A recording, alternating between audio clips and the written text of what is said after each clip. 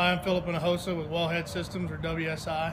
Today we're going to show you how to retrofit your 3302 slow gear ratchet pawl style rotator with a one-way bearing.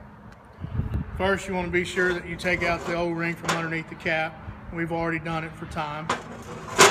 Pull your cap off. We're going to take off our actuator body.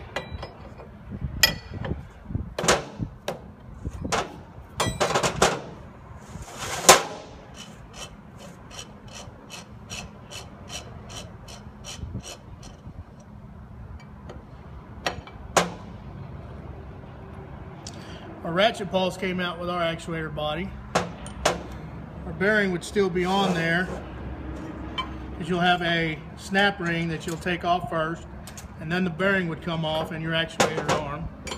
And then there's actually a second snap ring that we took off also because of time. We'll take off the backstop nut.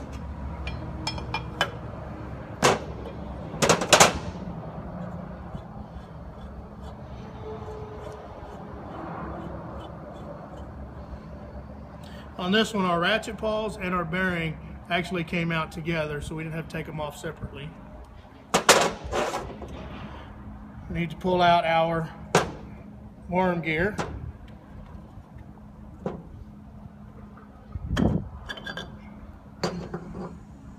then our worm drive. Now, you'll be getting a kit, and in your kit, you'll get a new worm drive, two new snap rings. We get a backstop nut with a one-way bearing, and I've already installed this one-way bearing. Um, it has to go in a certain direction for it to work. On your backstop nut, there's an arrow, and you'll be able to see it. There's your actuator body. It will also have a one-way bearing. On this one, though, you will not see the arrow. It is back against the actuator body when it's installed. So we're going to do our worm drive first. Snap rings have to come in from this side here, where the grooves for them. Slide them on. We're going to put one snap ring on there.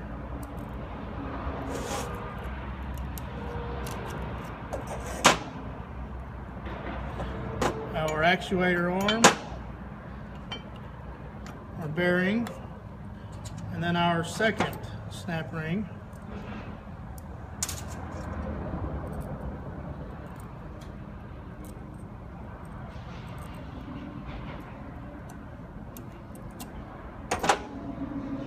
Now we're going to put our actuator body on. We're going to make sure that our grooves are lined up with our key.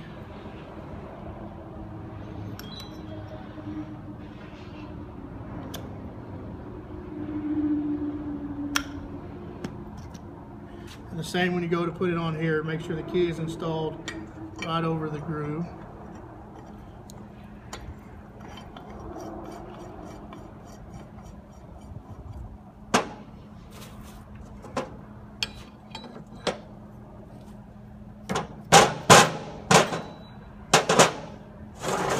And install our backstop nut.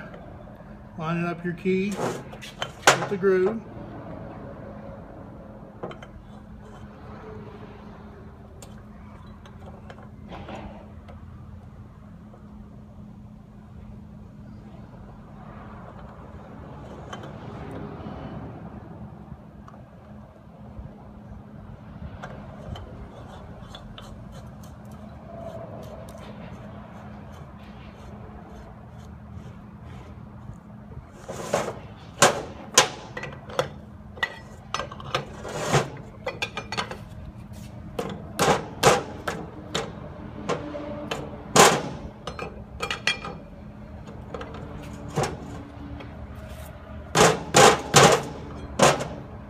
Now we have to install our worm gear again. It is marked top, so we want to make sure we put it in the right direction.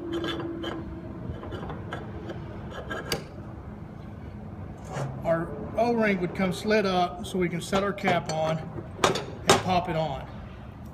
Now, when doing this, you want to make sure, according to your manufacturing specs, that you grease the body enough and make sure you have enough grease here for your worm drive. Now we need to test it.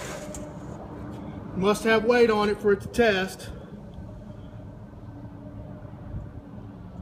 And as we can see, my arm is turning. So we've successfully retrofitted your 3302 slow gear ratchet style rod rotator to a 4033 with a one-way bearing.